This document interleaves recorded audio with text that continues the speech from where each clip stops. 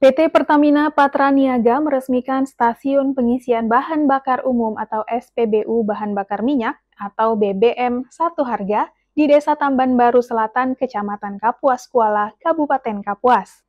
Peresmian ini menjadi komitmen Pertamina bersama Badan Pengatur Hilir Minyak dan Gas Bumi atau BPH Migas mewujudkan keadilan kepada masyarakat di kawasan terluar mendapatkan BBM dengan satu harga. Sebelum peresmian ini, masyarakat di Desa Tamban Baru Selatan yang didominasi petani tersebut kesulitan mendapat BBM. Kalaupun ada, dijual eceran, bahkan dengan harga yang relatif mahal dari harga seharusnya.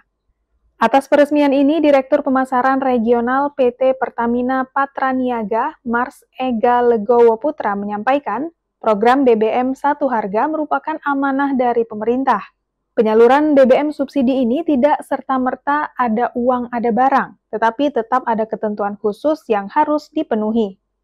Senada, Komite BPH Migas Yapit Sabta Putra menyebutkan, BBM satu harga ini merupakan program prioritas nasional. Sejak 2017 hingga 2024, ditargetkan ada 583 penyalur di Indonesia.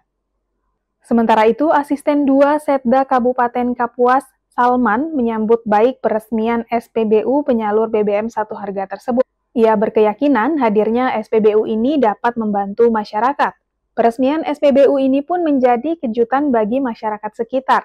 Terlihat beberapa masyarakat datang menyaksikan seremoni peresmian SPBU yang berada di tengah persawahan Baik, Terima kasih pertama, saya atas nama pemerintah Kabupaten Kapuas dan juga masyarakat di Kecamatan Kapuas Kuala berterima kasih atas berdirinya dan diresmikannya SPBU pada hari ini.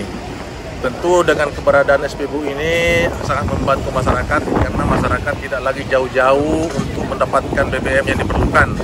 Dan ini tentu mendorong atau dapat menggairahkan kegiatan perekonomian masyarakat khususnya di Kecamatan Kapuas Kuala ini.